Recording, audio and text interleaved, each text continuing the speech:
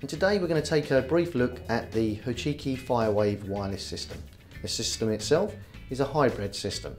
This means it can be integrated onto the ESP loop for the Hochiki protocol.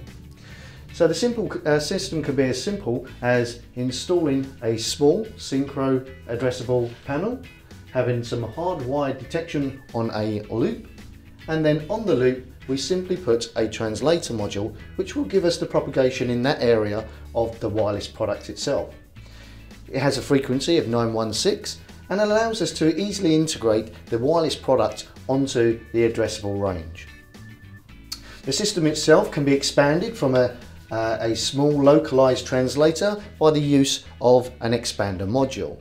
This can be relocated in an external building and would only require a 24 volt power supply to power it allowing us to get up to a range of around about a kilometre with several of the expanders in series.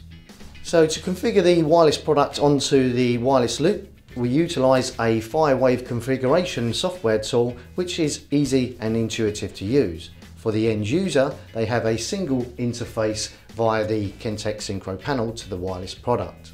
The application for wireless are vast. Um, there's areas like heritage, you have asbestos ceilings, remote buildings, mobile units, and like I say, there are many, many other applications where the wireless product is the right product to install within that uh, building.